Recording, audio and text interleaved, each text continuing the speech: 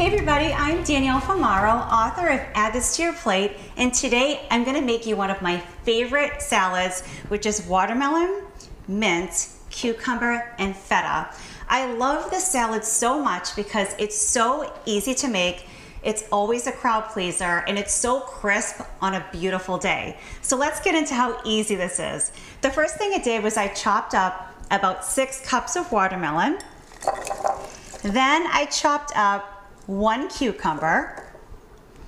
I took four to five ounces of feta cheese, so a block of feta. And I use the block versus crumbled because you can really get that nice cubed effect. And then I took a handful of fresh mint from my garden.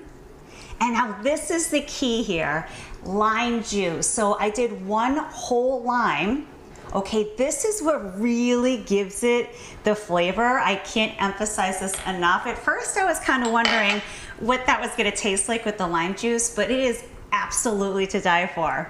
And lastly, you wanna season it with a little salt and pepper. And this will be to taste. I just do a little bit of each, not too much. Okay, and that's it. Isn't that so easy? So you'll just take some utensils and you'll mix it around. Now, just like anything else, the more this marinates, the more delicious it's going to get. But it is ready to serve right away. As soon as you toss it around two times, there you have it, a beautiful, gorgeous, fresh watermelon, cucumber, mint, and feta salad for a beautiful day with friends and family. Have a wonderful rest of the week, and I hope you enjoyed.